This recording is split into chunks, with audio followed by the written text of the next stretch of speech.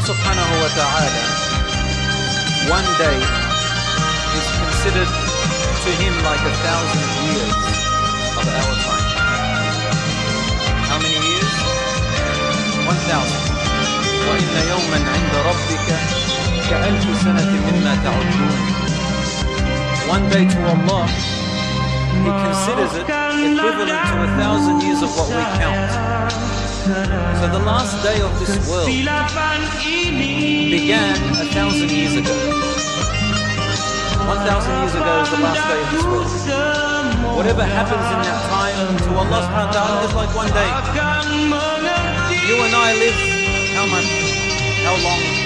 50, 60, 70 years, 100 years. It's only a drop in the ocean compared to a thousand years. Yet we are part of that just one day. And there is another day, the day of judgment. That day is not 1,000 or 2,000 or 10,000. It is 50,000 years. Allah says in the Quran, في يوم كان مقداره خمسين ألف سنة. On a day, the day of judgment, which is estimated to be equivalent to 50,000 years of what we count. Just a drop in the ocean the last 1,000 years we are. And then standing on a day which is as long as 50,000 years. A man said, Ya Rasulullah, oh, innahu lazamanun taweel. That expression that we make.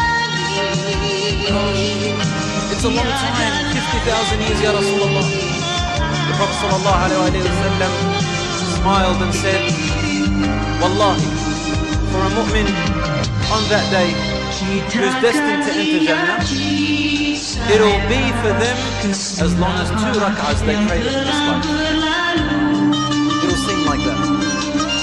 And then the people who have less deeds than them, it'll seem a little bit longer. For others who have even less deeds than them, it'll seem a bit longer.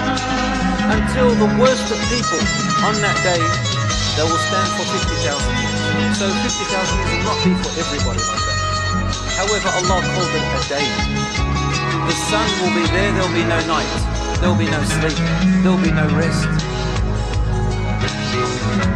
All of our journey from the beginning of the world to the end is in preparation for that day. A man came to Rasulullah sallallahu alayhi wa sallam and he asked him a question. متى الساعة يا رسول الله? When will the last hour be, O Messenger of Allah? He is asking about when the last day of this world will be. The poor man thinks that he's going to live until the last hour of this world. He wants to prepare for it. 1,400 years ago. Rasulullah sallallahu alayhi wa sallam responded to him with an amazing wise word. A question to his question. ماذا أعددت لها? What have you prepared for it? That's the question you should be asking. Don't ask when is the world going to end. Allah knows when it will end. Not even Rasulullah knows.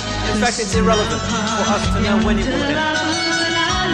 By the time it ends, you will, Allah, you will be nothing mentioned. What have you prepared for it? Like this man is not going to live until the end of time. How can he prepare for it?